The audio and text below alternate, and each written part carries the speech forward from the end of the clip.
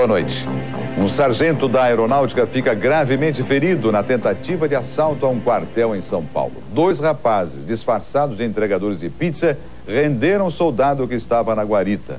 O quartel que fica numa base da aeronáutica dentro do aeroporto de Congonhas, em São Paulo, amanheceu sem reforço na segurança. Só a fiscalização é que estava mais rigorosa. Ontem à noite, dois bandidos tentaram assaltar o quartel.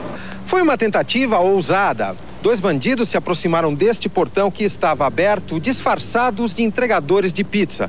Como não geraram suspeitas, foram autorizados a entrar.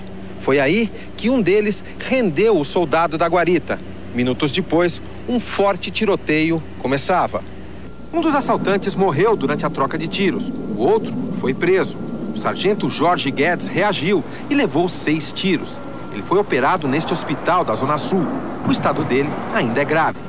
Um outro sargento que trabalha na mesma base e não quer se identificar, contou que apenas um soldado que faz a guarda do quartel usa arma.